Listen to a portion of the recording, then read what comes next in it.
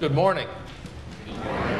People are still gathering. It's good to see. It's good to see so many friends and family, especially of Willie Dragstra, as we celebrate his 75th birthday. It's celebrated this past week. There'll be an open house this morning after our church service in the basement, and you're all here for that, I'm sure, and that's wonderful.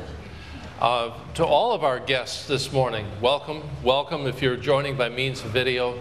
May God bless us as we worship Him together today. In our study of Scripture, we're continuing to work through the Gospel of John, the portion where Jesus addresses His disciples just before He's betrayed and crucified. And Jesus speaks in the Gospel of John about the gift, the promise of the Holy Spirit. And we're going to take up a, a bit of that teaching this morning from our Savior Jesus. It will have to do with persecution, it will have to do with what it means to live as a child of God in this world as we look for the world to come. And so, with that in mind, what it means to live in this world, let's listen to this portion of 1 Peter chapter 5 as our call to worship. Be alert and of sober mind. Your enemy, the devil, prowls around like a roaring lion looking for someone to devour. Resist him, standing firm in the faith, because you know that the family of believers throughout the world is undergoing the same kind of sufferings. And the God of all grace, who called you to his eternal glory in Christ after you have suffered a little while, will himself restore you and make you strong firm and steadfast. To him be the power forever and ever. Amen. With that promise of help from God, let's turn our hearts to God in silent prayer and ask Him to prepare us for this worship service.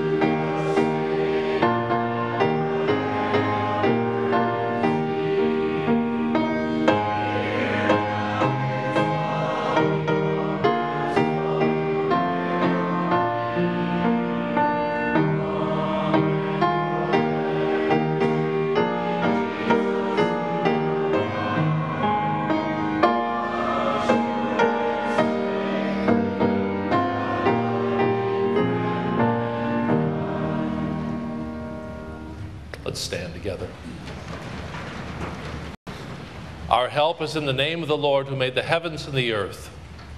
Grace and peace to you. From God the Father, through the mercy of Jesus Christ our Savior, and through the gift of the Holy Spirit. And to this let the children of God say, Amen. Let's welcome one another as the family of God.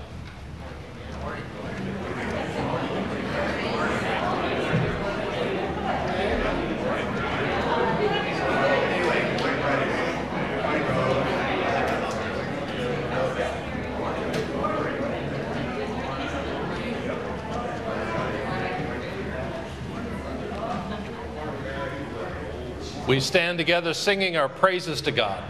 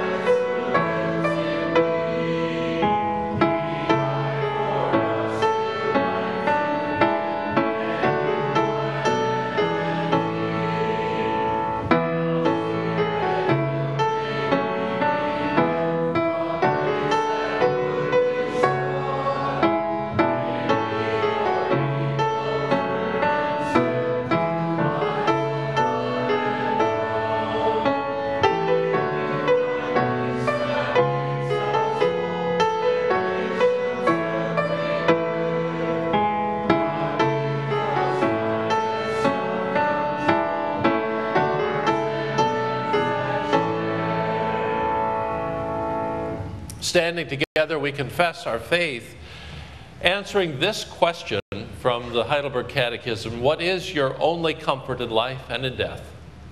That I am not my own, but belong, body and soul, in life and in death, to my faithful Savior, Jesus Christ. He has fully paid for all my sins with his precious blood and has set me free from the tyranny of the devil. He also watches over me in such a way that not a hair can fall from my head without the will of my Father in heaven. In fact, all things must work together for my salvation. Because I belong to Him, Christ, by His Holy Spirit, assures me of eternal life and makes me wholeheartedly willing and ready from now on to live for Him. And this question, what must you know to live and die in the joy of this comfort? Three things. First, how great my sin and misery are. Second, how I am set free from all my sins and misery. Third, how I am to thank God for such deliverance.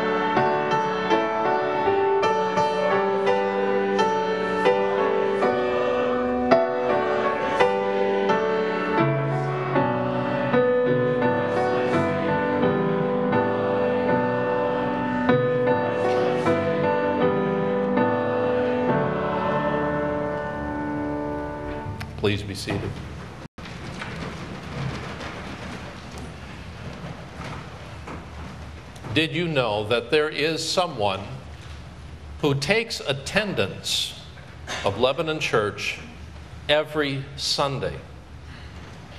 He's not here himself, he's watching the video that uh, is broadcast on the cable channel in, in Sioux Center. And he's not very happy if during the offertory the camera isn't scanning the pews. So I'm wondering this morning, Willie Dragstra, are you taking attendance? You can see the whole crowd. You, hey, you've got a perfect view. Because I notice you're exactly under the camera this morning, so the only one that they're not going to see is you.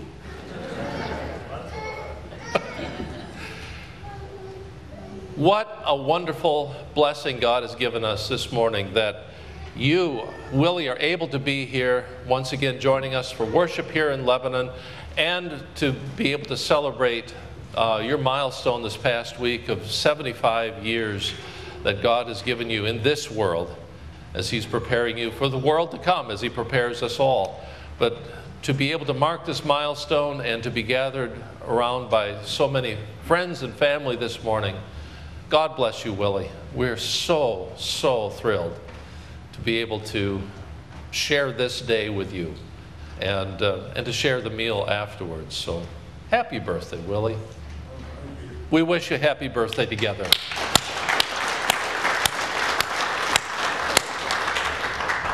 We'll sing happy birthday downstairs.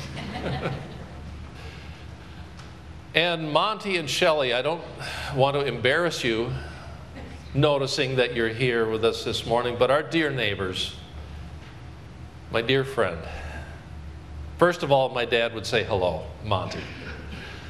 Well, they're both truckers. They're both retired truckers, so we have uh, things to talk about. Monty, you're here this morning following yet another surgery a couple weeks ago, and we, we pray for you. We, we uh, remember you. Uh, we love you both, and we're grateful that this is a day that uh, you can join us as well. So just be assured of, of our love for you, and uh, it's just good to see you. Just wanted to say hello. During this past week, we've been praying for Tony Bunema. Uh, Tony, this past week, underwent um, a second procedure, uh, more extensive procedure to repair, actually now to replace the mitral valve in his heart, one of his four major heart valves that we all have. Um, and also to receive a couple of bypasses. That surgery was on Friday. Tony now is under light sedation, and he's, they're, they're hoping to get him to respond to simple commands, and he has yet to respond. Um, they're expecting that uh, there's going to be a brain scan soon to see if there's any issues there, hopefully to rule out any issues there. But uh, we should continue to pray for Tony and Sue and for the rest of the family. Uh, this has been a long haul for Tony already in the hospital in Sioux Falls. Uh, we've been alerted last week to Pete Haverhals, not you, Pete Haverhals, but to your uncle, right? That would be your uncle Pete in Seattle, do I remember correctly? And last week, or a little more than a week ago, uh, was told that he had stage four pancreatic cancer. We'll continue to pray for him. Does anybody have any update on his condition? I don't think it's pancreatic anymore. I think it's maybe liver now. Not pancreatic, but perhaps liver cancer. So more tests and to, so they're going to start treatments with a port. We'll, we'll learn more, of course, as, as things progress there, but uh, we will continue to pray for um, Pete Haverhals in Seattle. Emmett Haverhals is home, and that's encouraging news. What a journey that little guy has had. And uh, we continue to pray for Emmett and Mark and Molly and Clara and Robert and Val, for you too as well as you continue to walk this journey. Are there any other prayer requests that we should include this morning in our prayers? Yeah, here. Uh, just in regard to all the people you just mentioned, uh, I know on Molly's caring here, she was stating about the care that they get from the doctors and nurses, and also the doctors trying to make sure that they're addressing his issues correctly, and that goes for all the, all the patients that, you know, we should be thankful for the doctors and nurses. Know, They really carry heavy load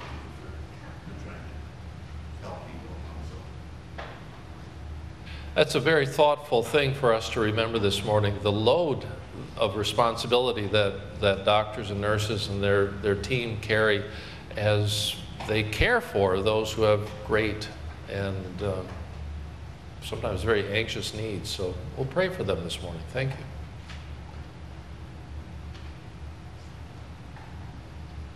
Let's pray together.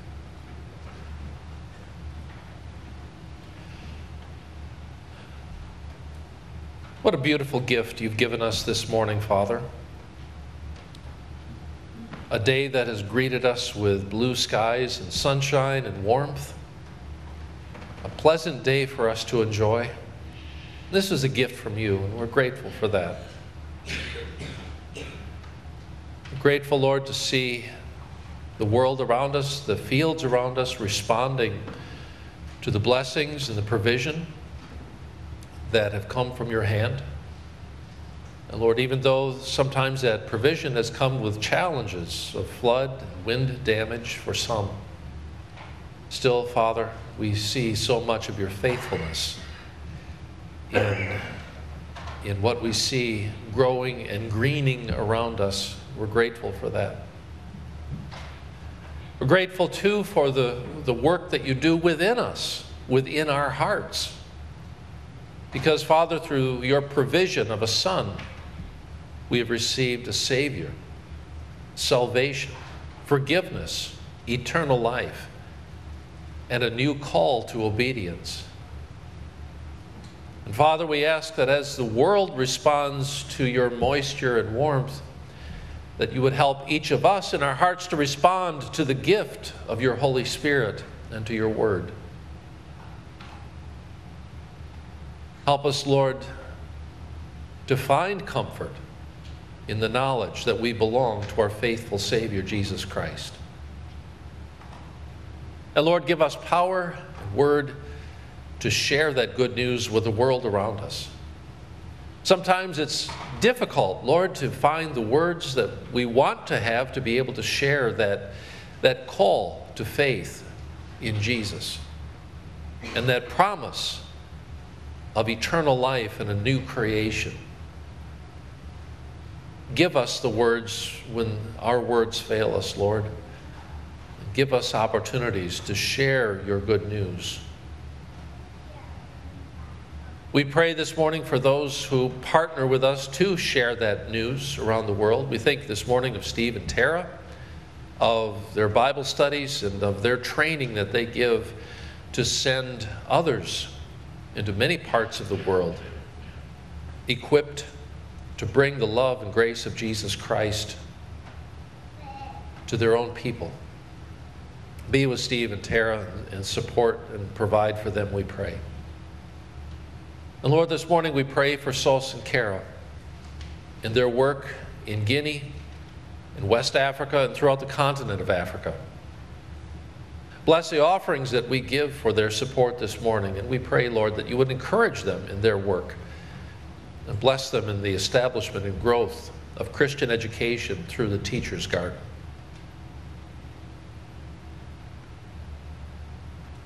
And bless also, we pray, our support of another missionary on the continent of Africa, in South Africa, with Classis Iakota. Lord, we support Tyler and Christina Helfers.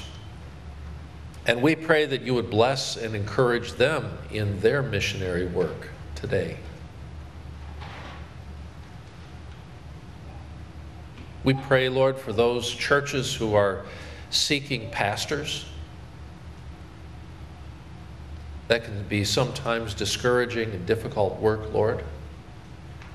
Congregations, perhaps, who wonder what the future holds for them as they, as they search for pastoral leadership. And so this morning we lift to you our neighboring churches, Hawarden Church, and Inwood Church, and New Holland Church, and their search for pastoral leadership. We also pray, Lord, that you would bless those who are studying and preparing for ministry, those who anticipate being declared candidates for ministry, and those, Lord, whom you will be calling to pursue preparation for ministry. We pray, Lord, for a sufficient number of leaders to equip and build and send your church to do its task. With the churches of Sioux Center, we lift to you today the Church of God congregation the ministry of Dustin Bulks.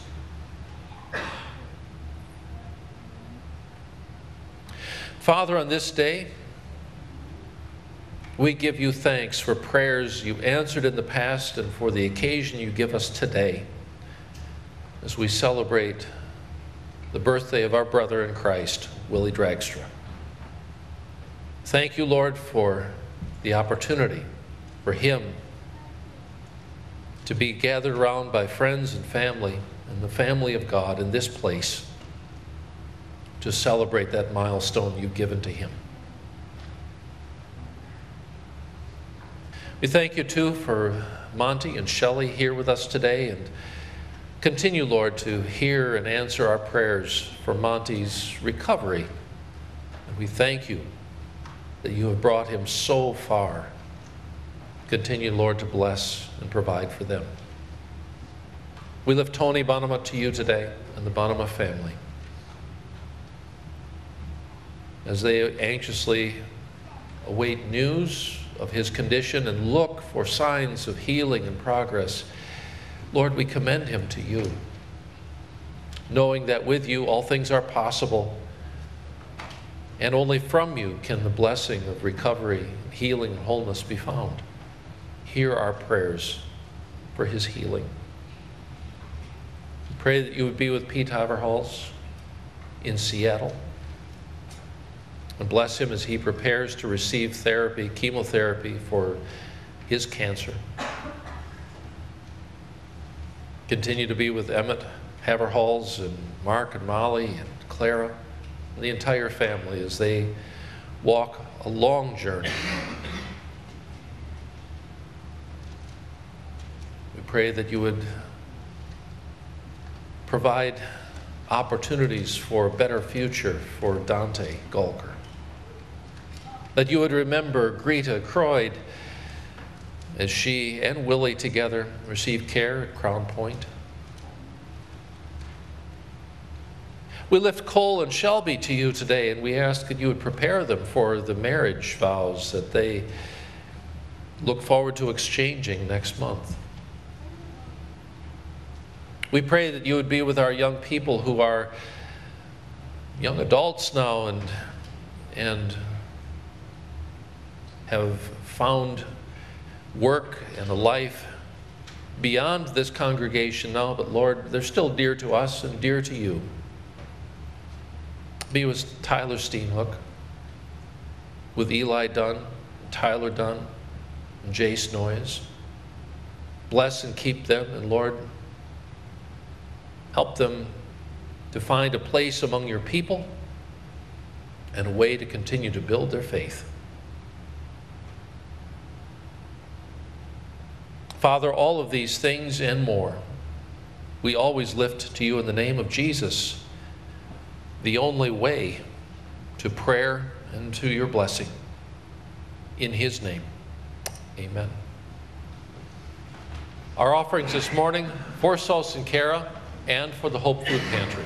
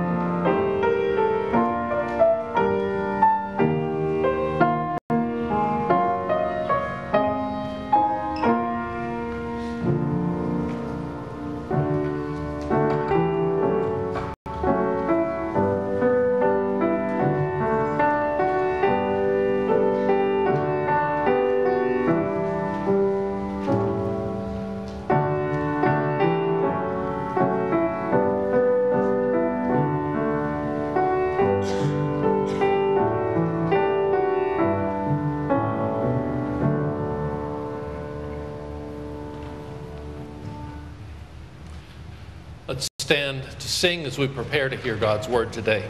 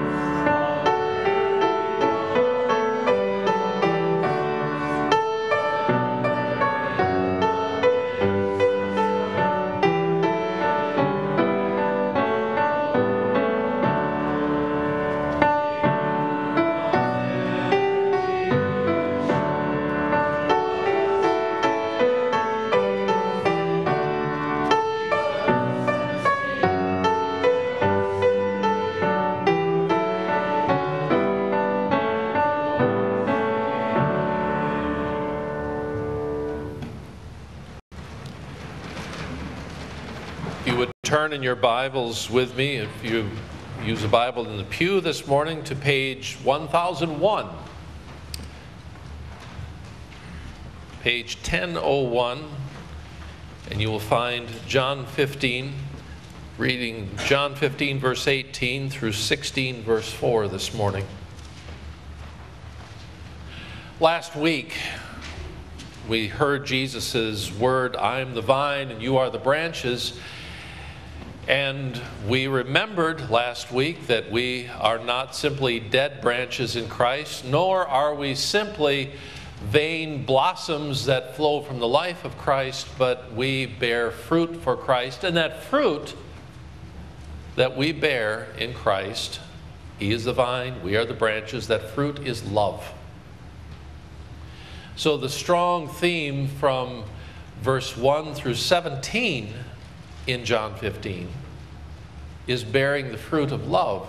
And now in verse 18, Jesus pivots on his heel. He was talking about love, he's talking about hate. There's a contrast here.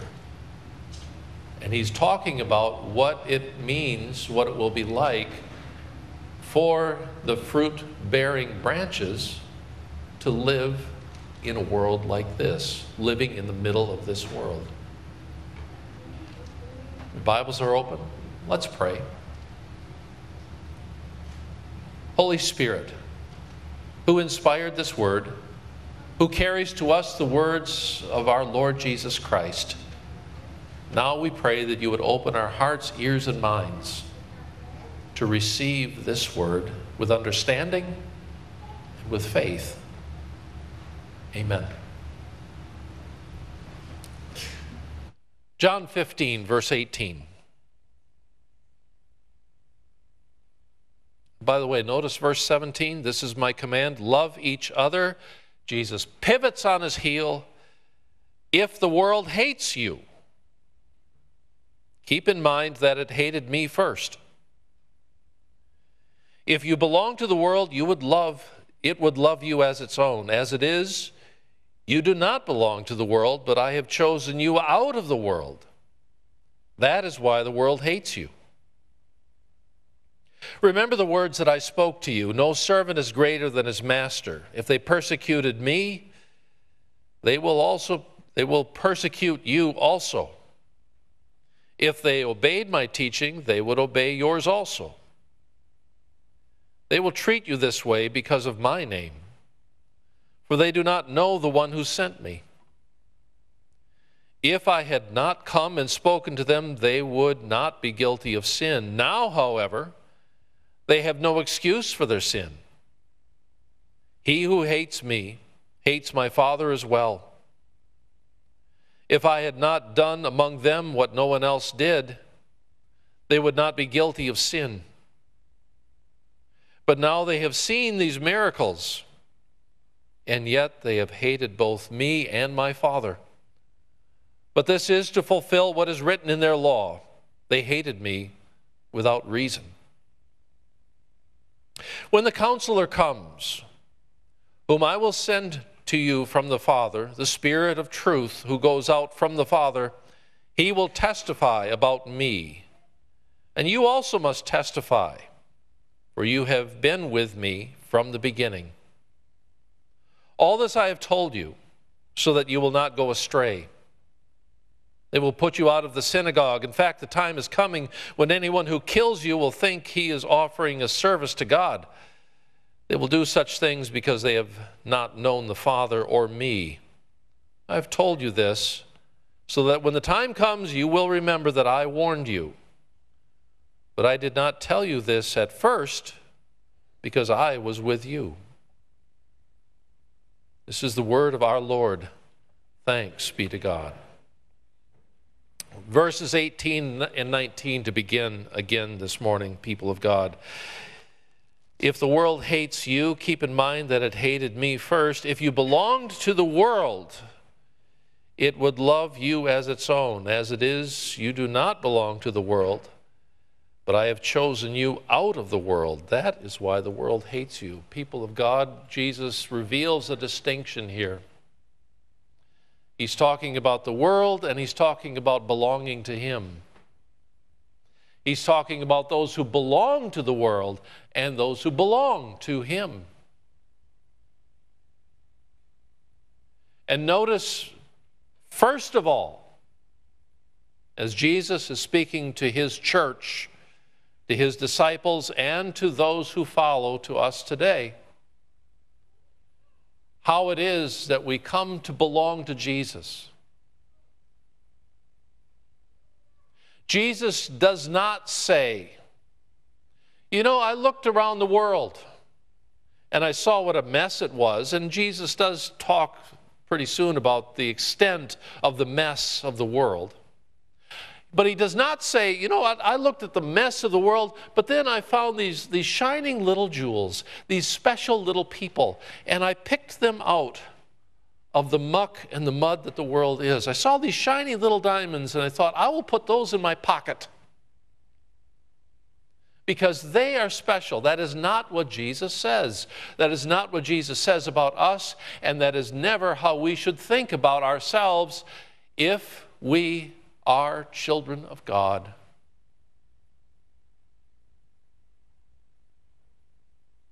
What does Jesus say? I have chosen you out of the world. Jesus is saying to us, remember how you started. You were no different. You were not special. You belonged to this world that I'm going to tell you about here pretty soon, the world that hates God and will hate you.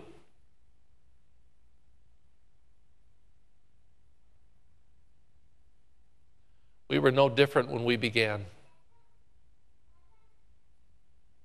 We had no natural love for God in our hearts, no natural desire to enter His kingdom. The way that it happens is not that we come to Jesus, but that Jesus comes to us. And this is what the power of Jesus is able to do. Is to take the sort of people that Christians used to be,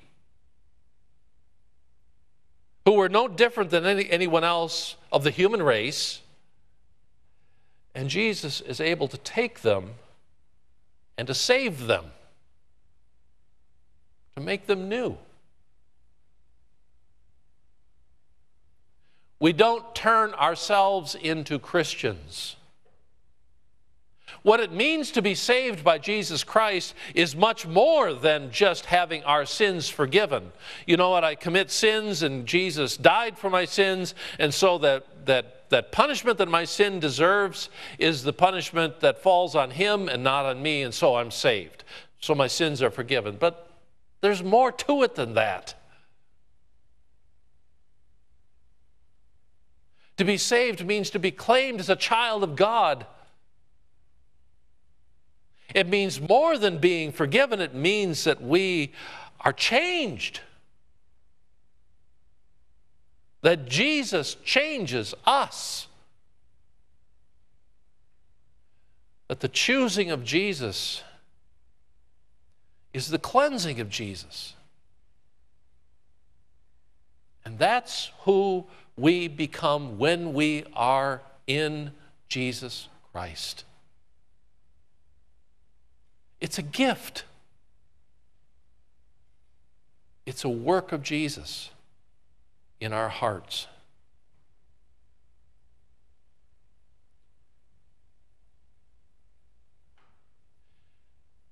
Now, Jesus says when this happens, when I call you to be and claim you to be as my own, that doesn't mean immediately you get to go to heaven and escape this world. It doesn't mean that you're going to find little pockets of shelter and safety in this world, that I'm going to, to hide you away somewhere where nobody else can find you, where, where, where you won't be bothered by anybody else that, that doesn't care for me. Jesus says, I've chosen you, but I've chosen you to do the very thing that God the Father sent me, Jesus, to do as your Savior, and that thing is this to live in the middle of a world like this. What sort of world is this? Verse 20. If you have your Bibles open, that was page 1001, verse 20.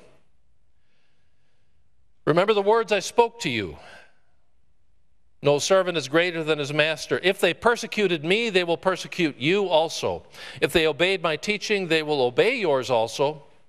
But they will treat you this way because of my name, for they do not know the one who sent me. If I had not come and spoken to them, they would not be guilty of sin. Now, however, they have no excuse for their sin. He who hates me hates my Father as well. If I had not done among them what no one else did, they would not be guilty of sin, but now they have seen these miracles, yet they have hated both me and my Father. But this is to fulfill what is written in their law they hated me without reason. Jesus is talking about persecution. He's talking about what it's like to live as a representative of the holiness of God's kingdom in the middle of this sort of world. This is what Jesus says about this world. First of all, this world loves the things that God can do.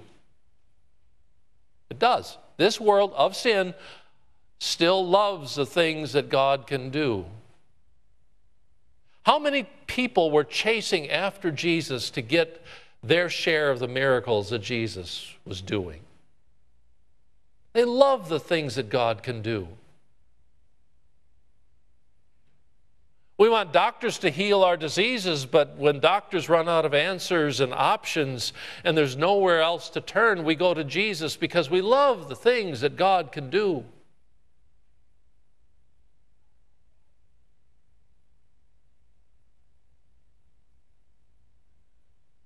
The world chased after Jesus for his miracles. But they did not chase after the God who could do those miracles. They loved the blessings. They didn't love the God who gave the blessings. Why is that? Well,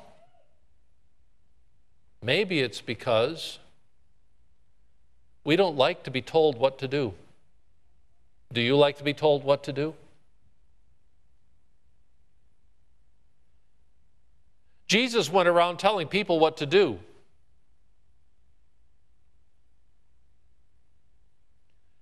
Mostly he went to religious leaders of his day and pointed out their hypocrisy. But he went around telling people what to do. You have heard it said, Jesus said. Love your friends and hate your enemies. But I tell you, you should love your enemies. We don't want to hear Jesus telling us what to do. We can put names to our enemies. Love your enemies. Jesus said, You should love people more than you love your money, and you should love God above all. Well, we don't want a Jesus to tell us not to love and to keep our money, but to be generous with our money and to share it, to be concerned about people who don't have enough.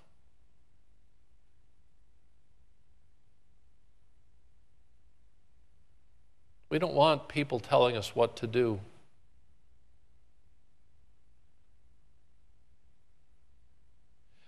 Jesus said, You've heard, don't commit adultery, but I say to you, you look on anyone with lust. You've already committed adultery in your heart. We don't want Jesus telling us what to do how our relationships need to be shaped and defined and guarded and transformed. We don't want Jesus telling us what to do.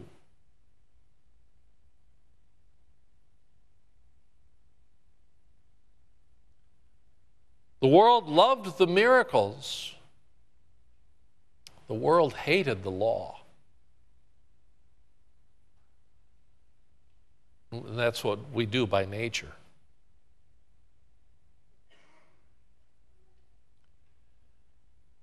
And Jesus said, When they hated me, they hated the Father who sent me. Because they don't want this way of holiness. The reason that you're listening to me as one of my disciples, says Jesus, is because I've called you, I've chosen you, I've made you new and you're welcoming my word and, and you're wanting to walk with me, but that shows that, that I've changed you, that, that you're converted, that you're different.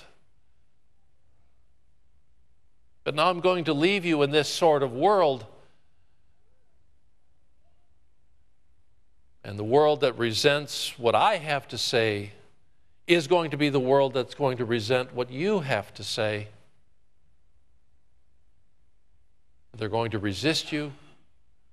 They're going to persecute you, not only because of who you are, but because of who your God is.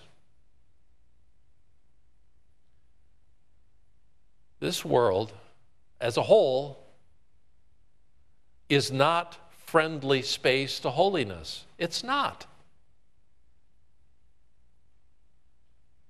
And yet, Jesus leaves us here in the middle of this sort of world. Why? Why?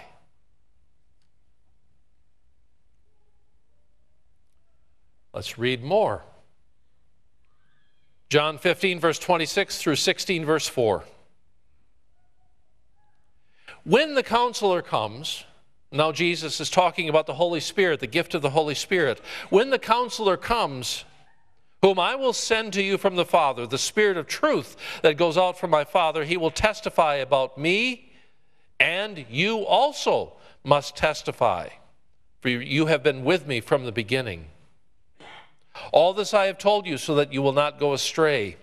They will put you out of the synagogue. In fact, the time is coming when anyone who kills you will think he is offering a service to God. They will do such things because they have not known the Father or me. I have told you this so that when the time comes, you will remember that I warned you. I did not tell you this at first because I was with you. When the counselor comes,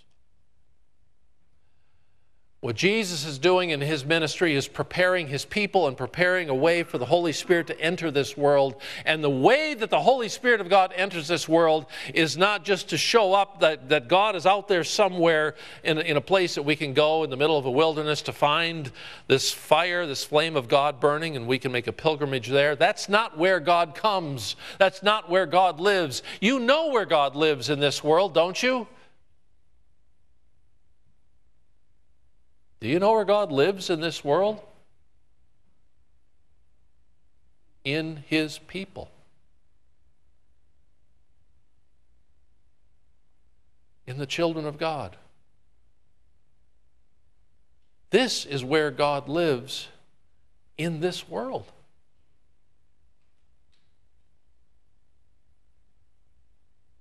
Why? For the same reason that God was in, in, in the Son of God and Jesus was in this world. To reveal God. To tell the truth about God. He's the spirit of truth. To make God known. That's what this testimony is about. That's what this witness is about.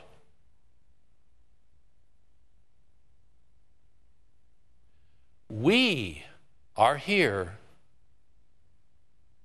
when the Holy Spirit fills us to make God known in this sort of world. Why?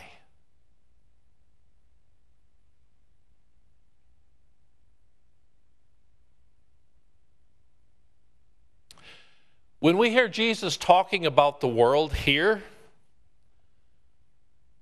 do you get the idea that, that uh, not only the world hates Jesus, but that Jesus doesn't think much of the world either? Do you get that idea that, well, the, the feeling is mutual? The world hates God and the things of God and the, I guess the people of God, right? And so God looks at this world and he doesn't think much of this world either. He doesn't think much of, of people who only want his miracles but don't want him. God doesn't think much of this world. You get that idea?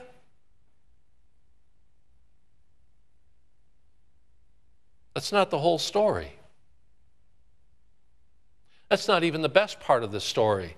Because this Jesus, who's talking about this world, that is constantly resisting and pushing back against God is the same Jesus who's revealing the God of John, same gospel, John 3:16 and 17. What does Jesus say about the world? What does the Father say about the world? This is the world that hates him Come on, John 3:16, for God so loved the world that he gave his one and only son that whoever believes in him shall not perish but have everlasting life. For God sent his son into the world not to condemn the world but that the world might be saved through him.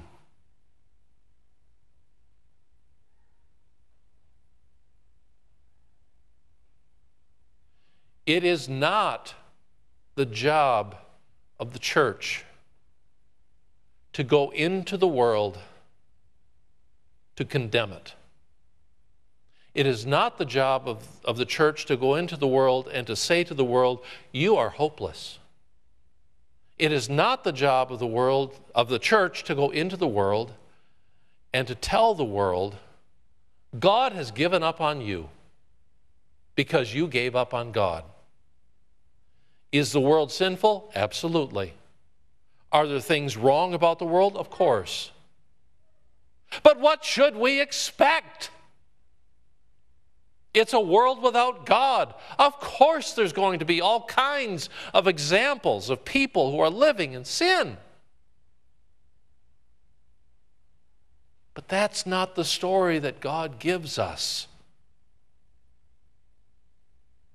Remember, when Jesus came into this sort of world, he came with the message of the grace and the mercy, the forgiveness, and the love of God. That same message, that same presence of God in such a world as this now comes into the world by the church through the Holy Spirit.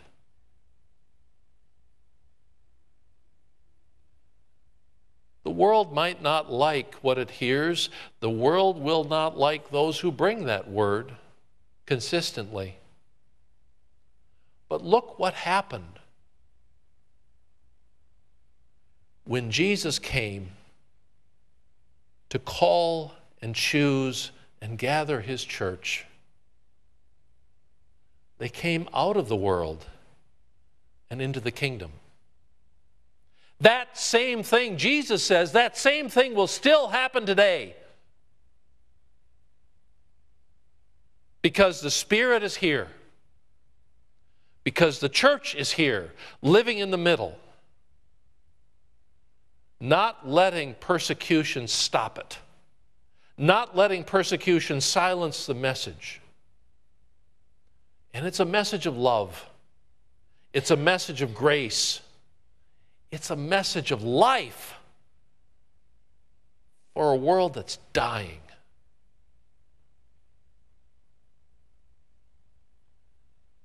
Jesus entrusts his good news to his church to save this world from itself. In spite of the hatred that the world has for God, God still chooses to love the people that He's calling from this world.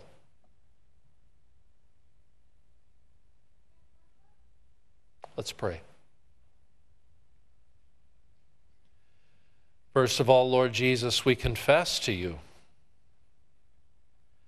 that we are not often enough or passionate enough, faithful in keeping this charge that you've given to us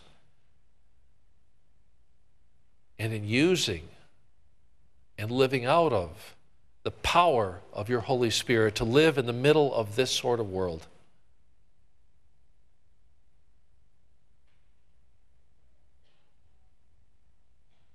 We do see things in this world, Lord, that are worthy of condemnation. There's no doubt about that. This world is a mess. But it's the sort of mess that Jesus came to redeem. Father, through him, you are calling people from this world to your kingdom. We pray today that you would build your church and that you would help us to be faithful servants of that testimony in word and deed to bring the goodness and hope of Jesus Christ to a world that's dying.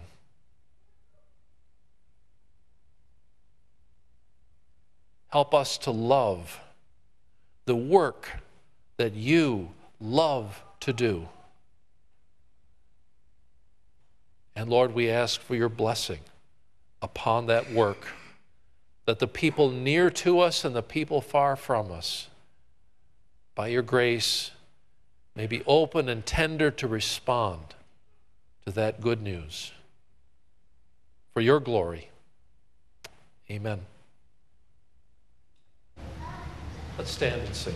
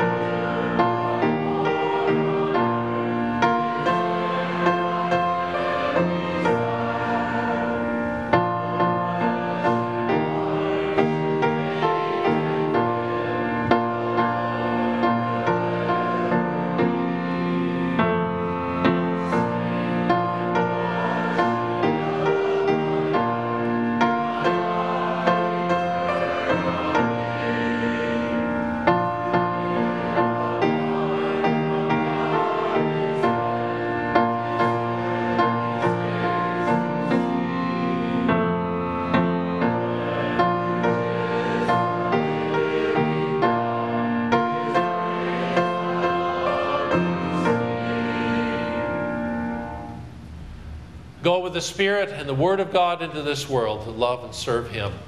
And may the grace of the Lord Jesus Christ, the love of God, and the fellowship of the Holy Spirit be with you all. And let God's people say, Amen.